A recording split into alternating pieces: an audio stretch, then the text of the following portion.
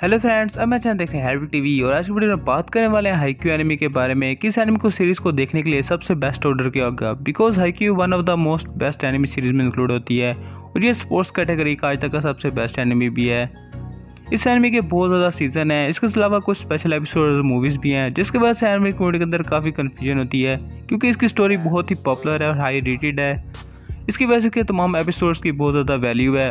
लेकिन इसकी कुछ एक्स्ट्रा स्पेशल एपिसोड्स और मूवीज़ की वजह से एनमी की स्टोरी के अंदर काफ़ी कन्फ्यूज़न है एनमी फैंस को। तो आज के वीडियो में मैं प्रॉपर डिटेल बताने वाला हूँ कि कब कब एनिमी रिलीज़ हुआ, इसके कितने सीज़न हैं, कितने एपिसोड्स हैं, और कौन से स्पेशल एपिसोड्स और मूवीज़ आपको देखनी चाहिए। तो प्रॉपर डिटेल इस वीडियो में एक्सप्लेन करूँगा। तो वीडियो स्टार्ट करता हूँ।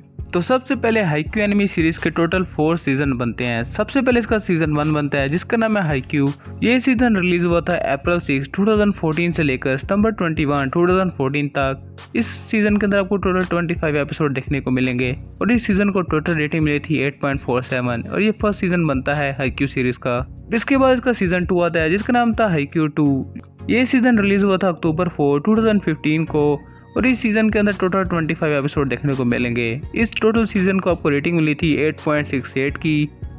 और ये सेकंड सीज़न बनता है इस सीरीज़ का। इसके बाद इसका थर्ड सीज़न बनता है, जिसका नाम है हाई क्यू थ्री ये सीज़न रिलीज़ हुआ था अक्टूबर एट 2016 से लेकर दिसंबर 10 2016 तक।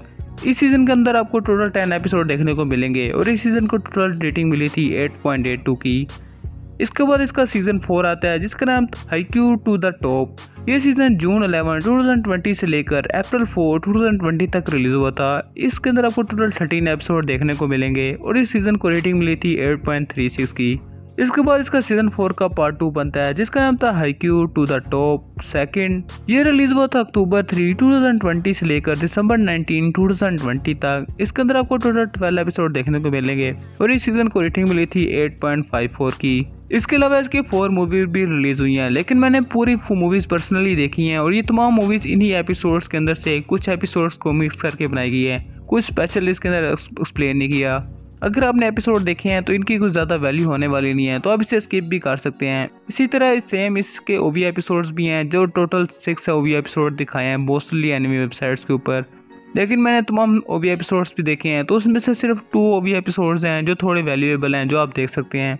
बाकी मोस्टली एनिमी स्टोरी के अंदर से ही आए हैं। यानी तमाम एपिसोड्स के अंदर से ही कुछ पार्ट्स लेकर उन्हें कोई ओवी एपिसोड बनाकर दिखाया गया है। तो जो दो स्पेशल ओवी एपिसोड देखते हैं, उसमें सबसे पहले नंबर आता है हाईक्यू लेव गेंजन ये एपिसोड रिलीज़ हुआ था 2015 को और इस स्पेशल एपिसोड को रेटिंग मिली थी 7.73 की। इसके बाद इसका सेकंड ओवी एपिसोड आया था, जो आप देख सकते हैं, जिसका नाम था राइक्यू वर्सेस क्यू इसके टोटल टू ओवी एपिसोड हैं और ये रिलीज़ हुआ था जून 22 2020 को।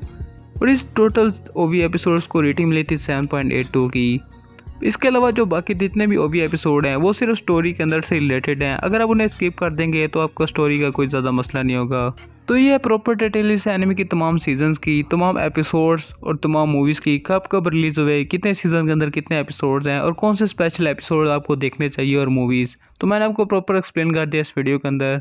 तो उम्मीद करता हूँ वीडियो आपके लिए हेल्पफुल रहेगी। तो इस चैनल को लाइक और सब्सक्राइब कीजिए ताकि आगे भी आपको ग्रेट एनिमी की इन्फॉर्मेशन बताता रहूँ। And thank you to watch my video